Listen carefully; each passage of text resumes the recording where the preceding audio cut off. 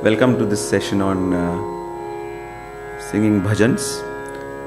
Uh, in the Indian classical music tradition, uh, this domain of the bhajan, especially in the North Indian tradition, is very, very significant.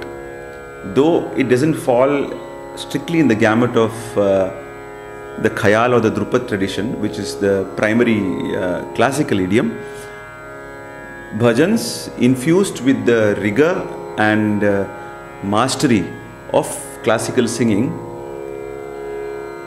has a very significant place in uh, performance. Uh, from the greatest of stalwarts uh, of earlier years to recent stalwarts like Pandit Bhimsen Joshi, um, Pandit Kumar Gandharva, Jitendra Abhisheki Kishori Amonkar they have given a pride of place to this this compositional genre which we generally term as bhajan bhajan itself is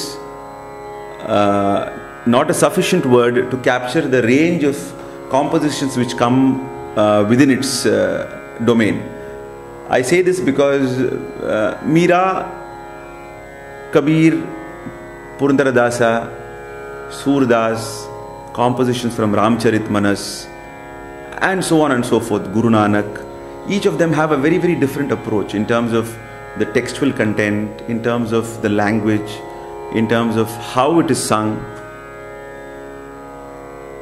But yet, as a convenient category, we tend to call them all as bhajans. Even abhangs come under this category. Abhangs are the compositions of uh, the Marathi bhakti saints, Tukaram, Jnaneshwar, Namdev, and later on, uh, great uh, devotional saints of, of Maharashtra. But yet, the approach, the song form, Elame, it's all different in each of them.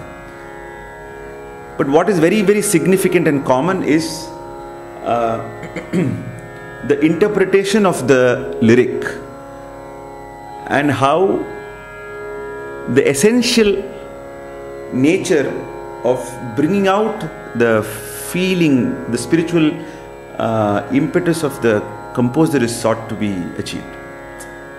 The dhwani of the words, the understanding of the word, uh, the projection of the word, the um, the intent of the performer to go into that mold and sing with the bhava.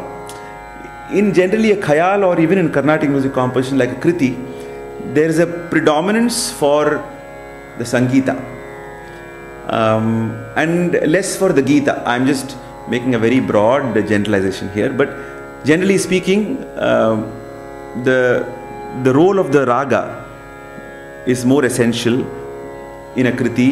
The role of a raga is more essential in a khayal. The words are just the um, vehicle through which the raga is realized. In a bhajan, to a great extent, it is probably the other way around. The raga is chosen, that raga is chosen which best captures or is suited to the dhvani of the words. We do not know in what ragas uh, Tukaram or uh, Purandaradasa or uh, Meera sang these uh, bhajans of their own. There is no uh, way that we can ever know that. So, in the 20th century at least, there is a tradition of setting these uh, beautiful poetry, bhakti poetry, into musical form. So, when we sing bhajan, we have to always understand that it is a musical interpretation of devotional poetry. So that an abhang can be sung in various tunes, various met. There is nothing sacrosanct about one particular way of singing it. Uh, but the essential uh, idea is that you try to capture the spiritual fervor and are you you're able to pass it on to the listener. So to that extent, you you might find a, the same bhajan being sung in very very different moods in terms of gati, in terms of the kala. So, uh, the same composition can be sung in a very very vilamba kala, in a totally different raga. That particular uh, poetry, that particular poem, devotional poem, can be sung in a totally different raga, in a totally different uh, uh, interpretation. So here the playing field is one of interpreting the, the, the poetry. So other base pandita, we have to prepare to present or learn uh, a bhajan. Unfortunately, in the Carnatic music tradition, bhajans have been adopted, but they have, uh, you know, the, the idea of it being part of a tukda repertoire has given it a slightly, um, you know, you don't pay much attention to it.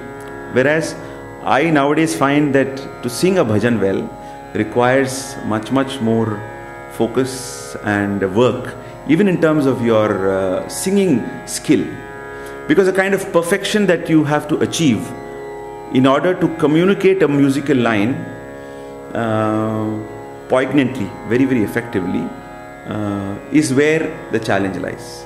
So, to that extent, even the very, very great artists, uh, like, like I mentioned, whether it be uh, M.S. Subbulakshmi or whether it be Bhimsen Joshi, you will find that, and they have mentioned it in some of their interviews, that uh, after a certain stage of khayal singing of manodharma, they find uh, coming back to the simple, elegant lines that a bhajan requires very, very challenging musically. So, um, like I mentioned, the aspects of understanding the lyric, the aspect of delivering that lyric in a very beautiful and effective manner the idea of making it very, very classical. In the sense, the mastery of classical music has to be there because bhajans are sung in many, many forms. They are sung in Sampradaya Bhajana, they are sung at homes in a very casual way during puja and all that. But, but yet on stage, when it is presented in a classical music stage, the kind of classical rigor has to be there, the kind of perfection that is the, that has to be sought to be mastered. So, uh, we shall now go into three or four examples. Uh, beautiful uh, poetry of Mirabai and uh, other uh, poet saints, and we shall uh, see how we can learn to render these so called and seemingly simple songs with much more effectiveness.